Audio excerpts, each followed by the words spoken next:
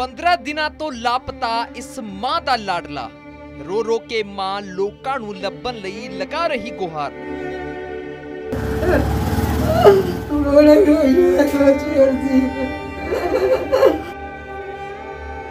ਤਾਂ ਦੱਸਦੇ ਕਿ 15 ਦਿਨਾਂ ਤੋਂ ਇਸ ਮਾਂ ਦਾ ਲਾਡਲਾ ਪੁੱਤ ਗੁੰਮਸ਼ਦ ਹੈ, ਜਿਸ ਤੋਂ ਬਾਅਦ ਮਾਂ ਉਸ ਨੂੰ ਲੱਭਣ ਦੇ ਲਈ ਦਰ-ਦਰ ਦੀਆਂ ਠੋਕਰਾਂ ਖਾ ਰਹੀ ਹੈ। ਤਾਂ ਮਾਂ ਨੇ ਦੱਸਿਆ ਕਿ ਉਸ ਦਾ ਪੁੱਤ ਮਾਨਸਿਕ ਤੌਰ ਤੋਂ ਪਰੇਸ਼ਾਨ ਹੈ, ਜੋ ਕਿ ਹਰ ਐਤਵਾਰ ਚਰਚ ਦੇ ਵਿੱਚ ਜਾਂਦਾ ਹੁੰਦਾ ਸੀ। ਪਰ ਇਸ ਵਾਰ ਜਦੋਂ ਉਹ ਚਰਚ ਗਿਆ ਤਾਂ ਵਾਪਸ ਮੁੜ ਕੇ ਹੀ ਨਹੀਂ ਆਇਆ। ਤਾਂ 15 ਦਿਨ ਹੋ ਗਏ ਆ, ਉਸ ਦੀ ਕੋਈ ਵੀ ਜਾਣਕਾਰੀ ਇਹਨਾਂ ਨੂੰ ਨਹੀਂ ਮਿਲੀ ਹੈ। ਤਾਂ ਦੱਸਦੇ ਕਿ ਨੌਜਵਾਨ 16 ਸਾਲ ਦਾ ਸੀ ਤੇ ਬਟਾਲਾ ਤੋਂ ਜਲੰਧਰ ਗਿਆ ਸੀ ਚਰਚ ਦੇ ਵਿੱਚ। ਤਾਂ ਹਰ ਐਤਵਾਰ ਨੂੰ ਉਹ ਚਰਚ ਦੇ ਵਿੱਚ ਜਾਂਦਾ ਸੀ, ਪਰ ਇਸ ਵਾਰ ਜਦੋਂ ਉਹ ਜਾਂਦਾ ਹੈ ਤਾਂ ਵਾਪਸ ਮੁੜ ਕੇ ਨਹੀਂ ਆਉਂਦਾ। ਜਿਸ ਤੋਂ ਬਾਅਦ ਪਰਿਵਾਰ ਨੇ ਉਸ ਨੂੰ ਬਹੁਤ ਲੱਭਣ ਦੀ ਕੋਸ਼ਿਸ਼ ਕੀਤੀ, ਪਰ ਹਾਲੇ ਤੱਕ ਉਸ ਦੀ ਕੋਈ ਵੀ ਸੂਹ ਨਹੀਂ ਮਿਲੀ ਹੈ। ਤਾਂ ਹੁਣ ਮਾਂ ਨੇ ਕਿਹਾ ਕਿ ਜੋ ਵੀ ਉਸਦੇ ਪੁੱਤ ਨੂੰ ਲੱਭ ਕੇ ਲਿਆਵੇਗਾ ਉਸ ਨੂੰ ਉਹ 10000 ਰੁਪਏ ਦਾ ਇਨਾਮ ਦੇਵੇਗੀ।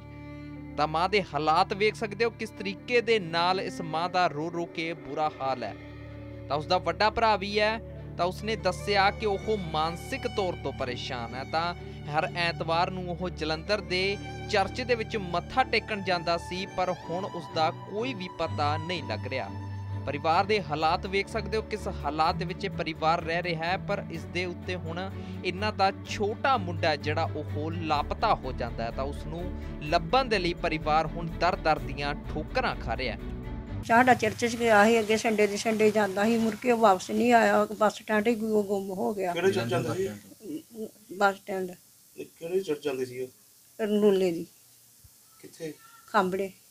ਉਹ ਕਿੱਥੇ ਜੀ ਜਲੰਧਰ ਚ। ਜੀ ਹਾਂ ਜੀ ਹਾਂਜੀ। ਉੱਥੋਂ ਬੱਸ ਸਟੈਂਡ ਤੋਂ ਹੀ ਗੁੰਮ ਹੋ ਗਿਆ ਤੇ ਹਰ ਸੰਡੇ ਦੇ ਸੰਡੇ ਜਾਂਦਾ ਸੀ ਮੁੜ ਕੇ ਵਾਪਸ ਨਹੀਂ ਆਇਆ। ਤੇ ਉੱਥੇ ਬੱਸ ਸਟੈਂਡ ਤੋਂ ਗੁੰਮ ਹੋ ਗਿਆ ਮੁੜ ਕੇ ਉਹ ਆਇਆ ਹੀ ਨਹੀਂ ਘਰ ਸੰਡੇ ਦੇ ਸੰਡੇ ਜਾਂਦਾ ਸੀ ਬੱਸ ਸਟੈਂਡ ਤੇ। ਤੁਸੀਂ ਕਿਸੇ ਨੂੰ ਇਤਲਾਹ ਕੀਤੀ ਹੈ ਲੱਭਣ ਦੀ ਕੋਸ਼ਿਸ਼ ਕੀਤੀ ਉਹਨੂੰ ਉੱਥੇ? ਹਾਂਜੀ ਗਏ ਹੈ ਲੱਭਣ ਗਏ ਸੀ ਇਹ ਤੇ ਉੱਥੇ ਲੱਭਾ ਨਹੀਂ ਹੈਗਾ ਛਟਿਆਰ ਵੀ ਉੱਥੇ ਲਾ ਕੇ ਆਏ ਸੀ। ਕੀ ਨਾਮ ਸੀ? ਰਾਜਾ। ਕਿੰਨੀ ਉਮਰ ਸੀ? ਉਮਰ ਉਹਦੀ 16 17 ਸਾਲ ਦਾ ਹੈਗਾ। ਤੇ ਪਹਿਲਾਂ ਵੀ ਕਦੀ ਇਦਾਂ ਹੋਇਆ ਸੀ ਉਹਨਾਂ? ਨੂੰ ਨਾ ਪਹਿਲਾਂ ਨਹੀਂ ਦਿਮਾਗ ਤੋਂ ਉਹਦਾ ਤੇ ਥੋੜਾ ਜਿਹਾ ਫ਼ਰਕ ਸੀ। ਕੀ ਗੁਹਾਰ ਲਗਾਉਂਦੇ ਸੀ? ਹਾਂਜੀ? ਕੀ ਗੁਹਾਰ ਲਗਾਉਂਦੇ ਲੋਕਾਂ ਅੱਗੇ? ਅਸੀਂ ਤਾਂ ਕਿ ਗਏ ਚਰਚ ਵਾਲਿਆਂ ਨੂੰ ਤਾਂ ਅਸੀਂ ਕਦੇ ਗਏ ਨਹੀਂ ਇਹ ਜਾਂਦਾ ਹੁੰਦਾ ਰਿਹਾ ਸੀ ਤੇ ਕਦੇ ਗਏ ਕੋਈ ਨਹੀਂ ਚਰਚ 'ਚ। ਇਹੀ ਛੱਡੇ ਦੀ ਛੱਡੇ ਜਾਂਦਾ ਰਿਹਾ ਤੇ ਮੁੜ ਕੇ ਵਾਪਸ ਆਇਆ ਨਹੀਂ ਹੈਗਾ।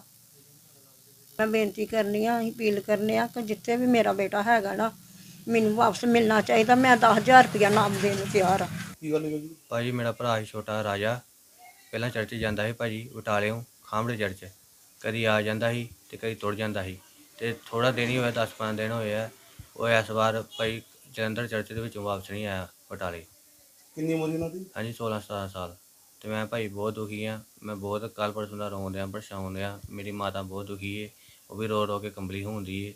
ਤੇ ਜਿਹਨੂੰ ਵੀ ਕਿਨੂੰ ਲੱਭਦਾ ਮੈਂ ਨਾਮ ਦੇਣ ਨੂੰ ਭਾਈ ਤਿਆਰ ਆ। ਤੇ ਜਿਹੜਾ ਤੁਹਾਡਾ ਬ੍ਰਦਰ ਸੀਗਾ ਰਾਜਾ ਹਾਂਜੀ। ਉਹ ਪਹਿਲਾਂ ਵੀ ਹੈ ਜਾਂਦੇ ਰਹੇ? ਉਹਨਾਂ ਦੀ ਕੀ ਦਿਮਾਗੀ ਸੁਣਤ ਨਹੀਂ ਸੀ? ਹਾਂਜੀ ਹਾਂਜੀ ਦਿਮਾਗੀ ਥੋੜਾ ਜਿਹਾ ਭਾਈ ਸਿੱਧਾ ਸੀ। ਪਹਿਲਾਂ ਵੀ ਜਾਂਦੇ ਰਹੇ ਸੀ ਤੇ ਉਹਨਾਂ ਨੂੰ ਬਾਅਦ 'ਚ ਪਤਾ ਨਹੀਂ ਲੱਗਾ ਕਿ ਜਲੰਧਰ ਬੱਸ ਸਟੈਂਡ ਦੇ ਵਿੱਚ ਮਤਲਬ ਗੁੰਮ ਹੋ ਗਿਆ ਹੈ ਭਾਈ। ਕੀ ਅਪੀਲ ਕਰਨਾ ਚਾਹੁੰਦੇ ਲੋਕਾਂ ਨੂੰ? ਫੇਰ ਭਾਈ ਮੈਂ ਹੱਥ ਜੋੜ ਕੇ ਬੇਨਤੀ ਕਰਨਾ ਵਾ ਜਿਹਨੂੰ ਵੀ ਲੱਭਦਾ ਵਾ ਉਹ ਮੈਨੂੰ ਨੰਬਰ ਤੇ ਫੋਨ ਕਰਨ ਤੇ ਮੈਂ ਹੱਥ ਜੋੜ ਕੇ ਬੇਨਤੀ ਕਿ ਮੈਂ ਉਹਨੂੰ ਨਾਮ ਦੇਣ ਨੂੰ ਤਿਆਰ ਆ।